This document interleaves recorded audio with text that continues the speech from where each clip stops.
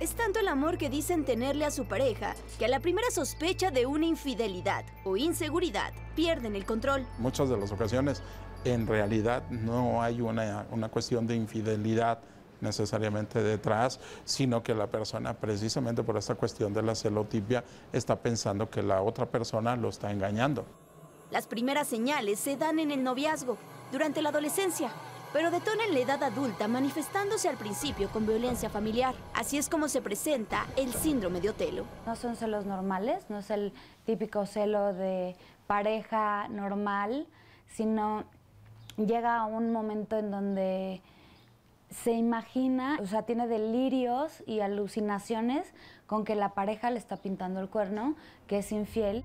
Estos celos patológicos generan que las personas no dejen de pensar que su pareja vive otra historia de amor.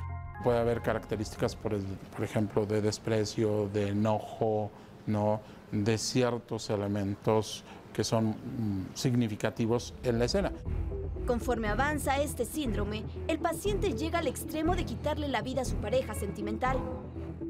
Puedes llegar a perder este contacto con la realidad, por eso es una cuestión ya más, más agresiva.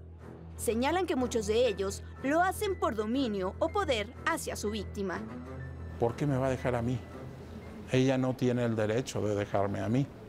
Yo soy eh, la única persona que este, propiamente ella casi casi me pertenece. Las personas, al no saber canalizar su ira, llegan a convertirse en asesinos con tal de no sufrir por amor.